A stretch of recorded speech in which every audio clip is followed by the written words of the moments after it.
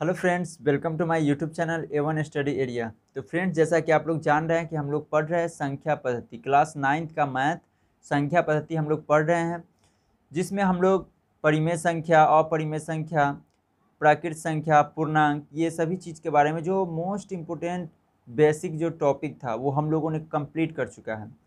और एक्सरसाइज एक दशमलव एक भी कंप्लीट कर चुके हैं। आज हम देखेंगे एक्सरसाइज दो। तो बिना टाइम वेस्ट किए हुए हम वीडियो को करते हैं स्टार्ट चलिए तो हम स्टार्ट करते हैं. एक्सरसाइज प्रश्नावली दो दशमलव एक. सॉरी एक दशमलव दो. अब देखिए यहाँ लिखा हुआ है, एक में नीचे दिए गए कथन सत्य है या असत्य? कारण के साथ अपने उत्तर दीजिए. तो जैसा कि पहला जो क्वेश्चन है, वो कह रहा है कि प्रत्येक अपरिमेय संख्या एक वास्तविक संख्या होती है। तो सबसे पहले ये समझिए कि वास्तविक संख्या कहते किसको हैं। वास्तविक संख्या मतलब वैसी संख्या जिसमें परिमेय भी हो और अपरिमेय हो। अर्थात परिमेय तथा अपरिमेय संख्याओं के समूह को वास्तविक संख्या कहते हैं। तो जब परिमेय और अपरिमेय, परिमेय और अपरिमेय दोनों संख्या उसमें सम्मिलित है तो वास्तविक संख्या होगा ही। तो वही यहाँ कहा गया कि प्रत्येक अपरिमेय संख्या एक वास्तविक संख्या होती है तो होगा क्या? सत्य होगा। क्या होगा? सत्य होगा। ठीक है? सत्य है क्योंकि क्योंकि हम जानते हैं कि परिमेय और अपरिमेय संख्या का जो समूह है, वही वास्तविक संख्या कहलाता है। ठीक है? तो क्योंकि परिमेय परिमेय और अपरिमेय। परिमेय और अपरिमेय।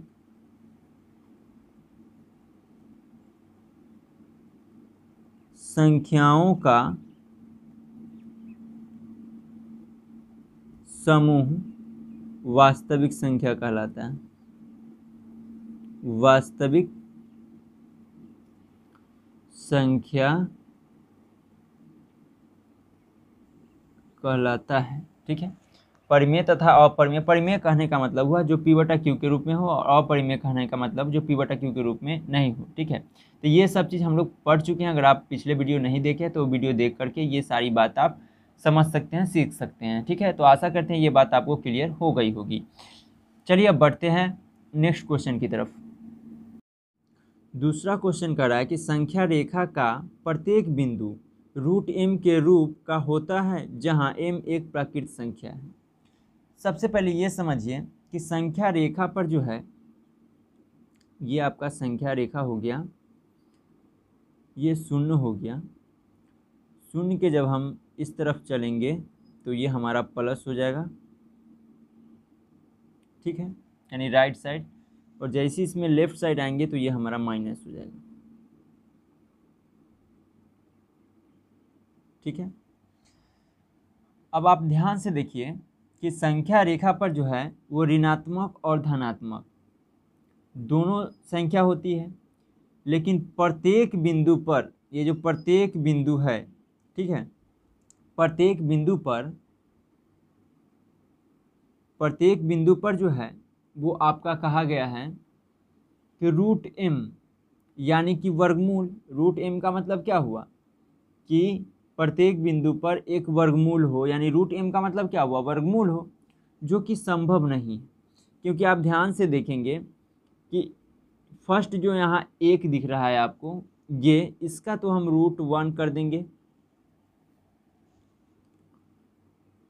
रूट वन करेंगे तो इसका रिज़ल्ट आ जाएगा वन ठीक है? ये प्राकृत संख्या हो गया। लेकिन जब हम यहाँ रूट टू करेंगे तो क्या ये प्राकृत संख्या होगा? नहीं हो पाएगा, ठीक है? और रूट थ्री करेंगे तो ये होगा? नहीं होगा। तो प्रत्येक बिंदु पर जो है, वो एक रूट में जो है रूट में संख्या और दूसरा नंबर की वो प्राकृत संख्या हो, ये संभव नहीं है, ठीक है? तो हम लिख सकते हैं कि संख्या रेखा पर हम लिख सकते हैं संख्या, ये तो क्या हो जाएगा? असत्य होगा। सबसे पहले तो ये असत्य हो जाएगा। क्या हो जाएगा? असत्य। तो सबसे पहले हम लिख देते हैं क्या? कि असत्य है। असत्य है, ठीक है? असत्य क्यों है? क्योंकि क्योंकि संख्या रेखा पर संख्या रेखा पर धनात्मक तथा ऋणात्मक, धनात्मक तथा ऋणात्मक दोनों संख्या होती है। दोनों संख्या होती है, ठीक है? धनात्मक तथा ऋणात्मक जो है, वो दोनों संख्या होती है। तो इसलिए जो है प्रत्येक बिंदु पर, प्रत्येक बिंदु पर एक वर्गमूल हो संभव नहीं है। प्रत्येक बिंदु पर, प्रत्येक बिंदु पर एक वर्गमूल हो वर्गमूल हो संभव नहीं। ठीक है, ये चीज़ नहीं हो सकता तो ये क्या है आपका? असत्य हो जाएगा, ठीक है? चलिए अब हम लोग बढ़ते हैं नेक्स्ट क्वेश्चन की तरफ़। चलिए तो तीसरा क्वेश्चन में आपको कहा गया है कि प्रत्येक वास्तविक संख्या एक अपरिमेय संख्या होती है तो ये आपका असत्य हो जाएगा। क्या होगा? असत्य। असत्य। अब क्यों होगा इसे समझिए। यहाँ पे कहा गया है आपका कि प्रत्येक जो है वास्तविक संख्या, अपरिमेय तो वास्तविक संख्या में परिमेय, अपरिमेय दोनों आता है। और यहाँ सिर्फ़ क्या कहा गया कि जितने भी वास्तविक संख्या, यानी प्रत्येक वास्तविक संख्या अपरिमेय होगा, नहीं होगा, क्योंकि इसमें परिमेय और अपरिमेय दोनों होता है तो प्रत्येक वास्तविक संख्या जो है, वास्तविक संख्या के अंदर जितने भी संख्या है तो क्या वो सिर्फ़ अपरिमेय ही होगा? नहीं, ये गलत हो जाएगा। ये होगा आपका असत्य हो जाएगा। क्योंकि उसमें परमेय भी होता है, जैसे आपको हम बता दें कि आप जैसे ले लीजिए कि दो दो ये परिमेय संख्या है और वास्तविक संख्या भी है।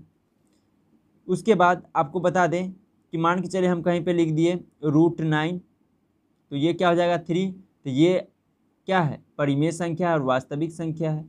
तो सभी जो वास्तविक संख्या है, वो आपका अपरिमेय संख्या नहीं हो सभी जो है वास्तविक संख्या, वो अपरिमेय संख्या नहीं होगा। ठीक है? तो लिखेंगे कि असत्य, क्योंकि क्योंकि सिंपल सा ले लीजिए एक एग्ज़ाम्पल क्योंकि मान लीजिए कि पाँच पाँच क्या है? ये तो आपका वास्तविक संख्या है। क्या है? वास्तविक संख्या है। संख्या है, वास्तविक संख्या है। क्या वास्तविक संख्या है तो क्या ये अपरिमेय संख्या है? नहीं है। तो लिखेंगे कि क्योंकि पाँच वास्तविक संख्या है, अपरिमेय नहीं। अपरिमेय नहीं। ठीक है? ये हो जाएगा इस क्वेश्चन का आंसर ठीक है? तो आशा करते हैं कि आप समझ गए होंगे। तो बढ़ते हैं नेक्स्ट क्वेश्चन की तरफ़। चलिए, अगला क्वेश्चन है कि क्या सभी धनात्मक पूर्णांकों के वर्गमूल अपरिमेय होती है? यदि नहीं तो एक संख्या के वर्गमूल का उदाहरण सिंपल सी बात है कि भाई जितने भी धनात्मक पूर्णांक है, उसका अगर हम वर्गमूल करेंगे तो अपरिमेय संख्या नहीं होगा। अगर नहीं होगा तो चलिए उसका एग्जांपल देख लेते हैं। जैसे आपको दे दे कि रूट अंडर वन इसका वर्गमूल करेंगे तो वन हो। उसके बाद रूट अंडर फोर इसका टू हो जाएगा। रूट अंडर नाइन क्या हो गया? थ्री हो गया। तो आप क्या देख रहे हैं कि इसके अंदर तो धनात्मक पूर्णांक है धनात्मक पूर्णांक है। और ये हमारा जो है, वो इसका वर्गमूल भी हो रहा है। सबका क्या हो रहा है? वर्गमूल हो रहा है। तो कहा गया कि क्या सभी धनात्मक पूर्णांक के वर्गमूल अपरिमेय होता है? तो नहीं होता है। यदि नहीं तो एक संख्या के वर्गमूल का उदाहरण दीजिए। तो आपके सामने उदाहरण बहुत सारे हैं। देखिए, जो भी संख्या का हम वर्गमूल निकाल रहे हैं, वो क्या अपरिमेय संख्या है? ये सभी परिमेय संख्या है। ठीक है? उसके बाद हम अगर कहें तो अगर पच्चीस ले लें तो ये पाँच हो गया। ये भी हमारा परिमेय संख्या है। छत्तीस ले लें, जिसका छः तो ये भी हमारा परिमेय संख्या है। ठीक है? ये कोई अपरिमेय संख्या नहीं है। ठीक है? तो हम लोग एग्ज़ाम्पल के माध्यम से समझ चुके हैं। ये सभी हमारा क्या है? परिमेय संख्या है। तो उत्तर में क्या होगा? नहीं। उत्तर में क्या लिखेंगे? नहीं। और एग्ज़ाम्पल ये आपका हो गया। एग्ज़ाम्पल हो गया। ठीक है? तो आशा करते हैं ये बात आपको समझ में आ गई होगी। चलिए अब हम बढ़ेंगे नेक्स्ट क्वेश्चन की तरफ़। चलिए तीसरा क्वेश्चन है कि दिखाइए कि संख्या रेखा पर रूट फाइव को किस प्रकार निरूपित किया जा सकता है? अब हम लोग जो है वो संख्या रेखा पर जो है वो रूट फाइव को प्रदर्शित करेंगे। तो आप ध्यान से देखेंगे, बहुत सरल है, ठीक है? सबसे पहले हम क्या करेंगे? एक संख्या रेखा खींचेंगे। एक खींचेंगे संख्या रेखा। ये रहा हमारा संख्या रेखा, ठीक है? और ये हमारा हो गया शून्य, ठीक है? उसके बाद एक, दो। दो लेंगे, ठीक है? एक और दो। इसके बाद क्या करेंगे कि दो पर एक सेंटीमीटर का लंब डालेंगे। जैसे देखिए, दो पर क्या करेंगे? एक सेंटीमीटर। एक सेंटीमीटर से अधिक नहीं लेना है। एक सेंटीमीटर, ठीक है? ये हमारा हो गया एक सेंटीमीटर। कितना हो गया? एक सेंटीमीटर। और यहाँ से यहाँ से यहाँ हो गया कितना? दो। ठीक है, दो हो गया। अब हमको क्या करना है? इस शून्य से जो है, हम इसको मिला देंगे। यानी एक समकोण त्रिभुज बनाएँगे, जिसको राइट एंगल ट्रायंगल बोलते हैं, समकोण त्रिभुज बनाएँगे इस तरह से। ठीक है, देख रहे हैं आप? इस तरह से बना लेंगे।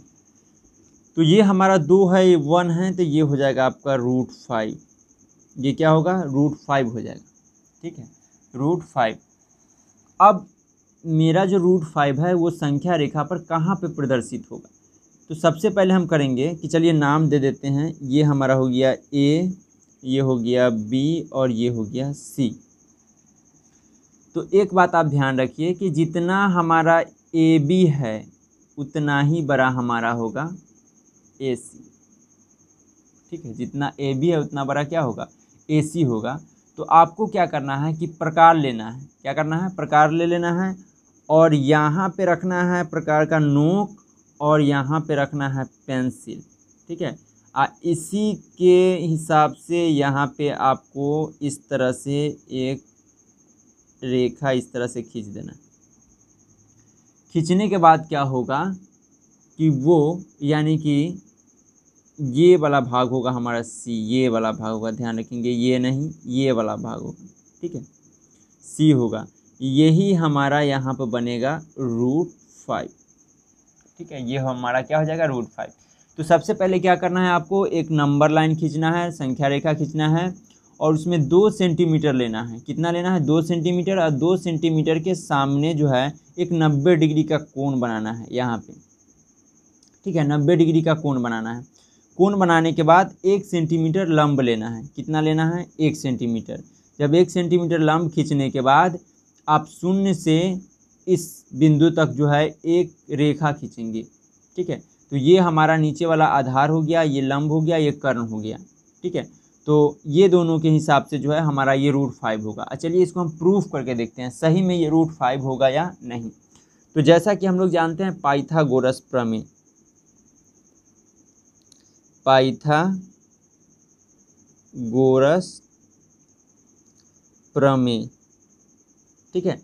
पाइथागोरस के प्रमेय से हम देखेंगे कि ये आधार है, ये लंब है, ये कर्ण है। तो कर्ण का स्क्वायर बराबर लंब का स्क्वायर प्लस आधार का स्क्वायर तो कर्ण का स्क्वायर बराबर हो जाएगा लंब देखिए। लंब आपके पास कितना है? वन है। तो वन का स्क्वायर प्लस आधार कितना है? दो है। तो दो का स्क्वायर ठीक है? तो आप क्या देख रहे हैं कि कर्ण का स्क्वायर बराबर वन का स्क्वायर वन हो गया प्लस टू का स्क्वायर कितना हो गया? फोर हो गया। तो ये हमारे पास आ गया फाइव इधर है क्या? कर्ण का स्क्वायर अब जब स्क्वायर को हम राइट साइड में लेके आएँगे, बराबर के दाहिने साइड में तो ये रूट में बदल जाएगा. तो कर्ण बराबर हो जाएगा रूट अंडर फाइव जो कि आप यहाँ देख रहे हैं.